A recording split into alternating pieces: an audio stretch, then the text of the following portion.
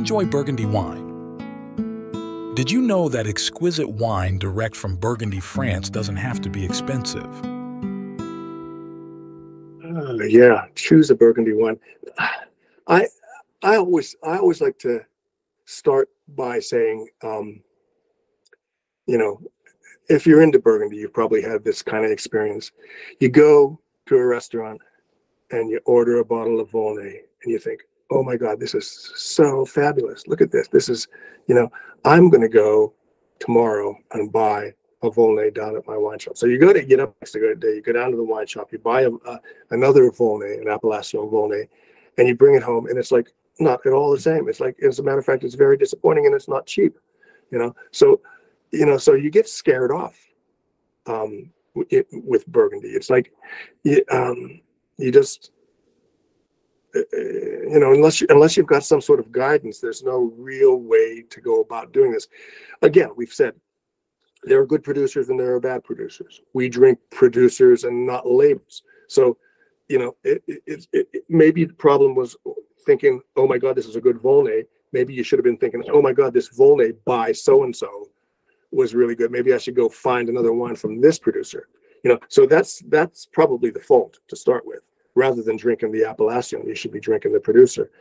Um, and then also, the, of course, um, there's the idea of the the famous Appellation versus the lesser known Appellation.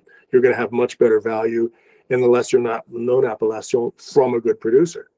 But then, of course, the famous the famous Appellation from a great producer could be worth the money. You know, it's it's it all has to do with your means and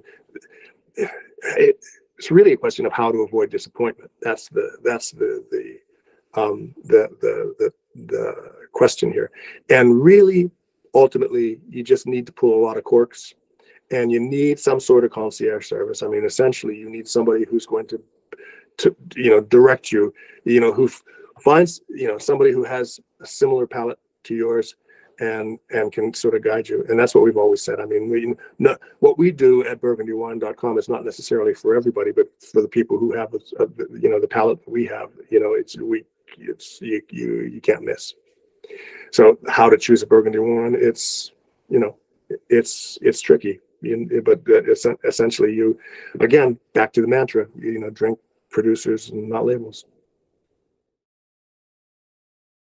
Hello, I'm Dennis Sherman from BurgundyWine.com. We're based in Burgundy and have been for over 35 years. We specialize in small production, hidden gem winemakers, and we deliver their wines directly to your door at prices that will convince you when we say Great Burgundy does not have to be expensive. If you can't come to Burgundy, we'll bring Burgundy to you.